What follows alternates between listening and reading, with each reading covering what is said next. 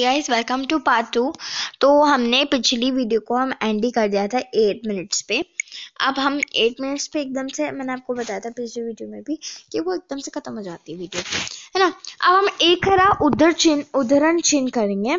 तो उदाहरण चिन्ह एक हरा उदाहरण चिन्ह यानी क्या होता है? मतलब सिंगल जैसे मैंने ये भी दे रखा है हमें, शिष्टाचार। आप है ना, शिष्टाचार का पूरे चैप्टर समझिए। और फिर उसके अंदर आप बहुत सारी चीज़ें देख सकते हैं। रमाजा द्विवेदी द्विवेदी? तो यहाँ द्विवेदी जो है हमारे रमाजा भाई, वो जो है बेटा इनको हम समीर बुलाते हैं। मतलब ये इस नाम से जाने जाते हैं और इनका ये निकनेम है। तो जो मतलब अद्विता, उसका निकनेम है चुक्कू, ठीक है?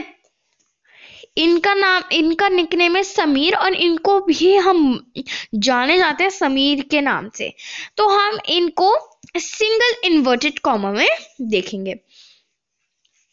सो द पीपल उनके जो निकनेम्स होते हैं और जिन नाम से हम जाने जाते हैं, वो, उनको हम इन सिंगल एक हरा इन्वर्टेड कॉमन में कॉमा में यूज़ करते हैं।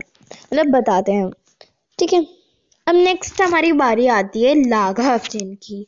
लाघव चिन्ह होता है एब्रवेशन एब्रीवेशन साइन बेटा एब्रीवेशन साइन मैं आपको बताती हूँ डॉक्टर हम, हमने बहुत बार देखा और हम तो इंग्लिश में भी यूज़ करते हैं नंबर और फिर उसके आगे ऐसे लगा देते हैं, या फिर हम नॉस यानी नंबर्स के आगे भी हम एक डॉट लगा देते हैं।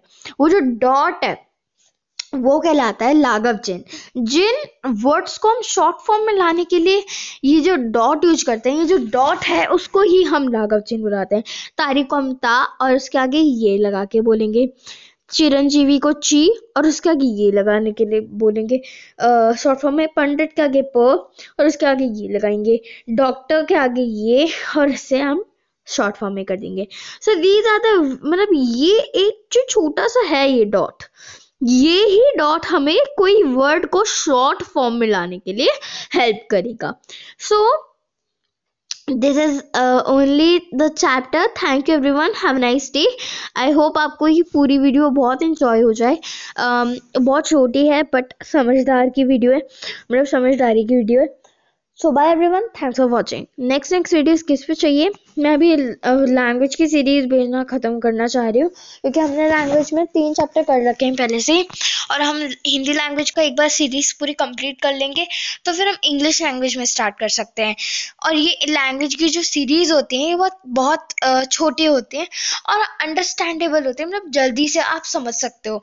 ऐसा अगर मैं चैप्टर समझाने बैठूँ तो पाँच छः पाँच भी लग सकते हैं। उसका कुछ होता नहीं है।